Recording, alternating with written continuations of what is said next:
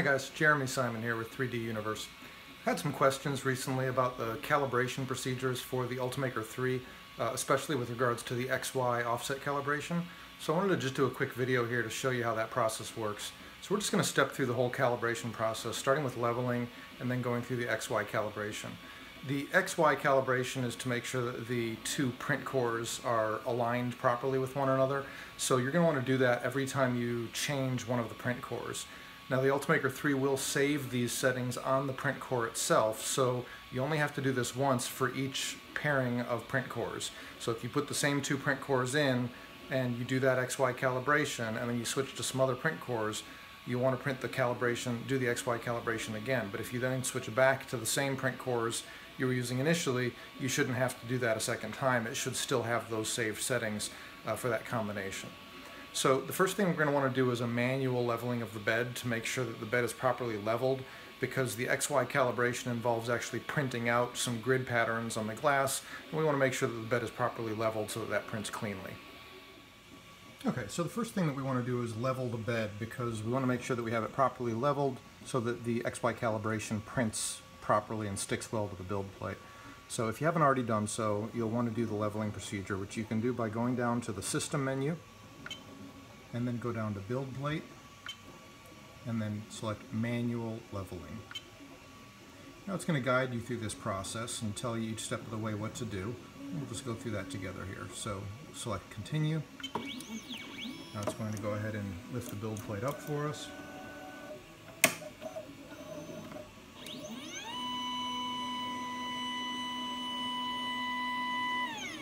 Now it's going to stop about an inch or so down from the nozzle.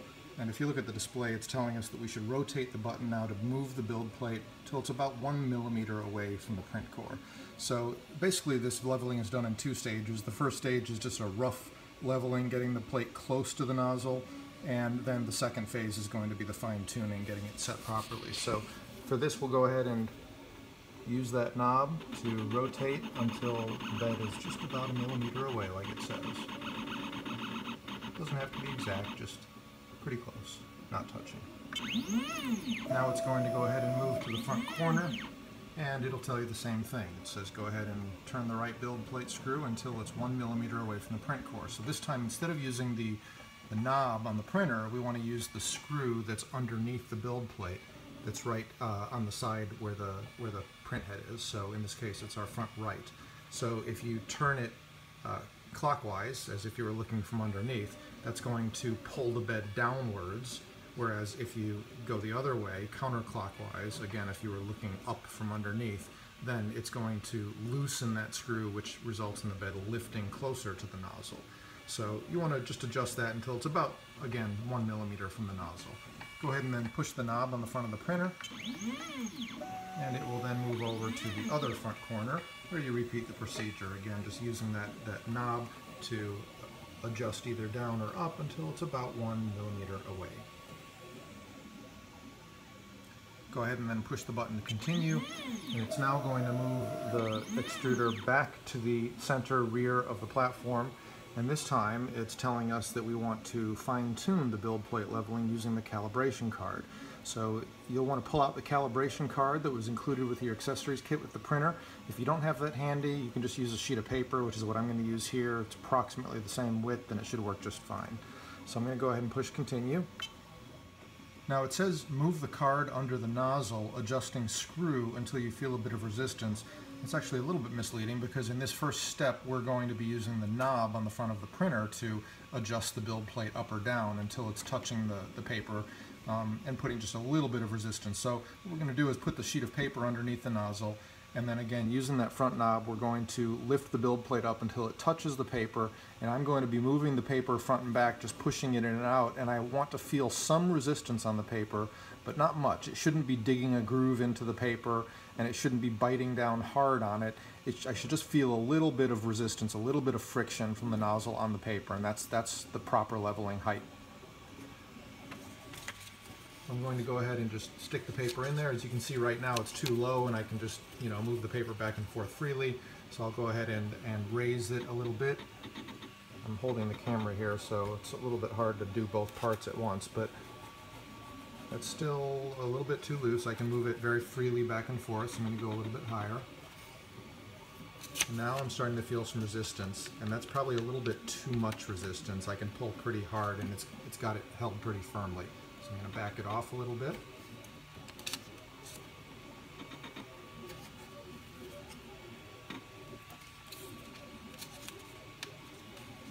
now we have it at a point where there's just there's a little bit of resistance on the paper. It kind of bends if I if I uh, push on it, but it can still move pretty freely. I'm going to back it off just one tiny notch.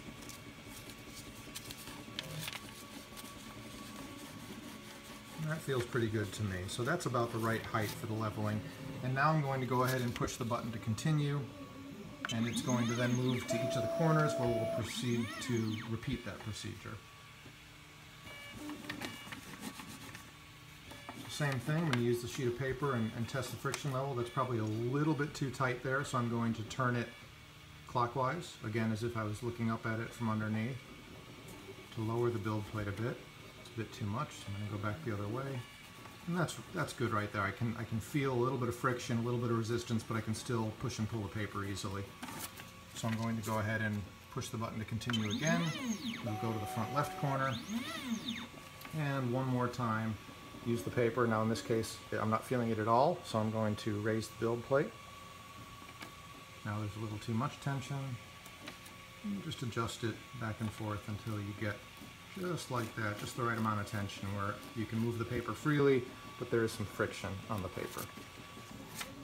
And that takes care of the front left corner. So now when I confirm, it'll tell you that it's moving on to calibrate the Z offset. So uh, what it just did uh, as I was showing you the front screen is it went back and, and hit the nozzle uh, switch back there in the far back right of the printer to change to the second nozzle. So it, it basically lowered that second nozzle down so that now we're going to be able to set the level of the right hand nozzle, the print core number two. So um, same procedure basically. Uh, we're going to go ahead and push continue here and it's going to tell us to move the card under the nozzle, rotate the wheel until you feel a bit of resistance. So just like we did before, uh, I'm going to test it out. There's no resistance at all right now, so I'm going to use the, the knob to lift the build plate a little bit. Still need to go higher. A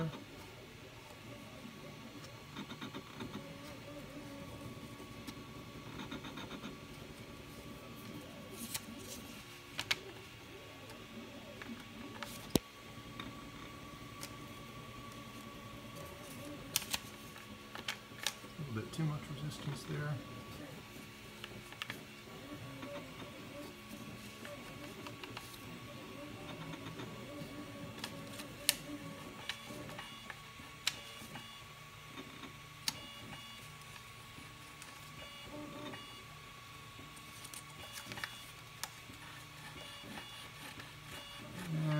Feels about right.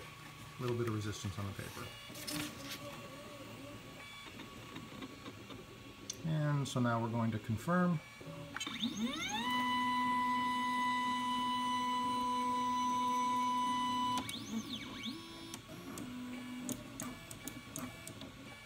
Okay, and that completes the leveling procedure. So the bed should be properly leveled now, and we can move on to the XY offset calibration. So to do that, we're going to select Return to go back to the System menu. We can go down to Maintenance, and then calibration, and then calibrate XY offset. Now as it tells you here, this is going to take about 20 minutes because it has to print out some patterns on the glass. So I'm going to go ahead and let that get started and then I'll show you how the calibration procedure works. Now in this case I have PLA material loaded in both of my print cores. Uh, you might have PLA in the first print core and PVA in the second print core and that's just fine. Uh, whatever materials you have loaded, you can still do this calibration procedure. Just make sure that the glass plate is, is well leveled and well cleaned. Uh, depending on what material you're using, you might have to apply a little bit of glue stick or um, you know whatever material you use to help that stick properly. But in this case, we're just going to go ahead on clean glass and uh, do the calibration.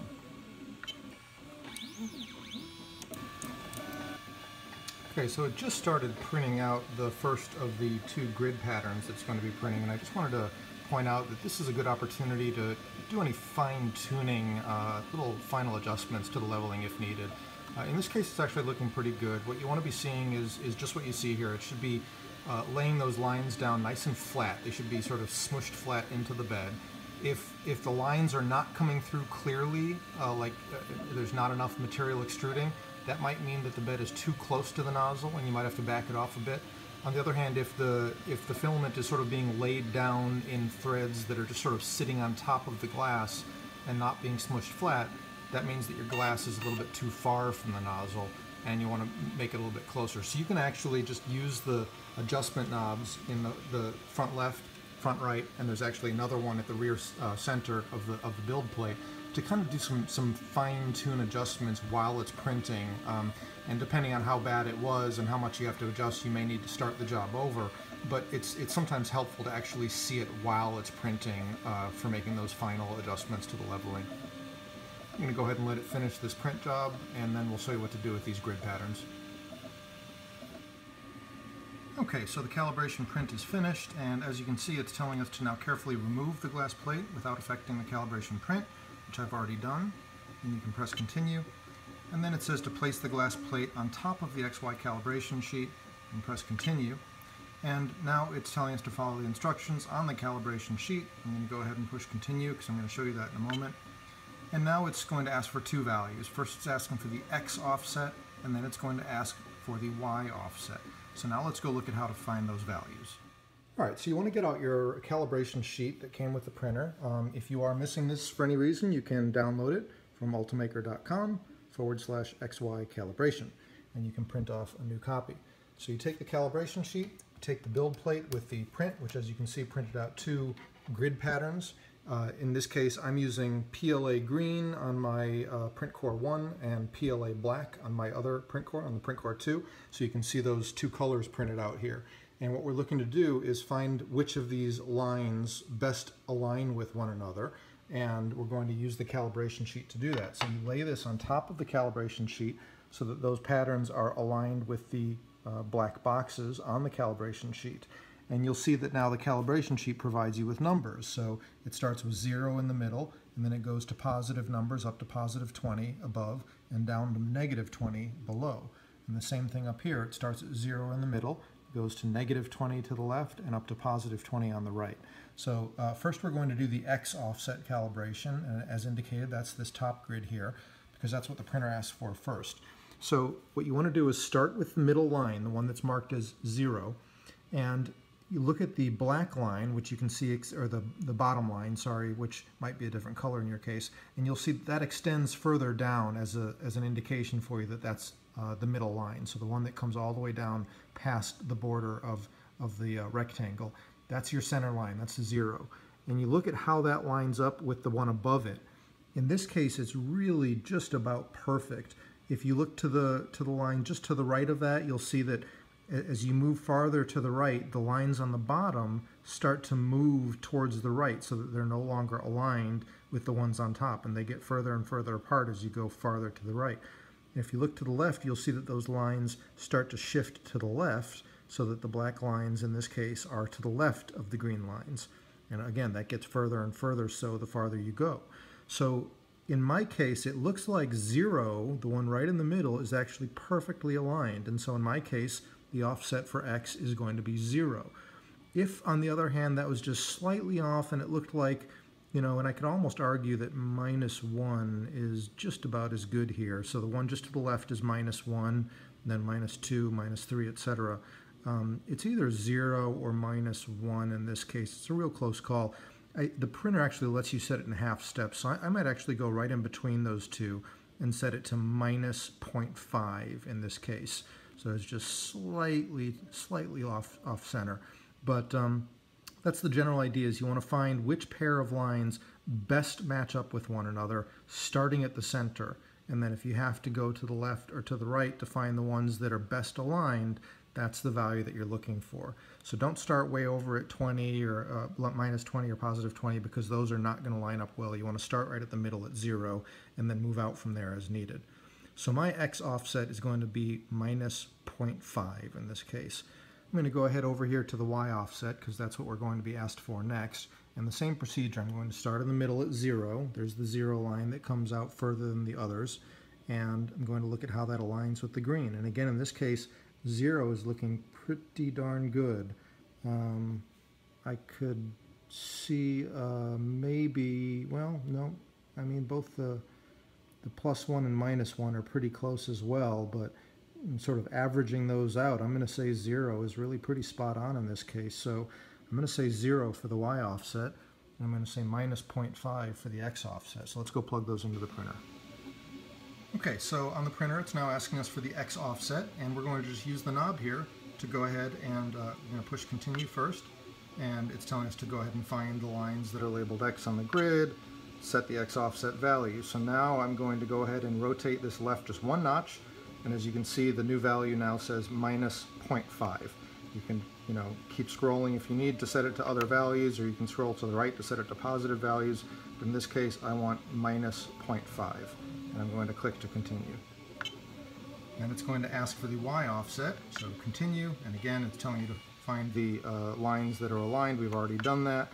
So we'll continue and select the new value. So the, the current value was set to minus 1 in this case. I'm going to go ahead and shift that back to 0 because 0 looked really good. So I'm going to set it to 0 and click to continue. And now it says the XY offset between the current print cores has been calibrated. So that's now done. For this particular pair of print cores, I don't need to do that again. That calibration has now been saved within the print cores themselves. And anytime I'm using this particular combination, which in my case this was a, a pair of AA print cores, but this could also be an AA and a BB print core, the same thing would apply. If it's the same pair of print cores, that calibration uh, only needs to be done once. So we'll now press continue, and it now says to place the glass plate back on the build plate, which I'll do in just a moment, and then finish. So with that, we are done with the XY calibration. I can just scroll down here and go to return to get back to my main menu, return again, and return again to go all the way back up to the top level menu. And we're ready to start printing now. So I hope that was helpful to clarify the uh, calibration process. Let me know if you have any questions. Thanks.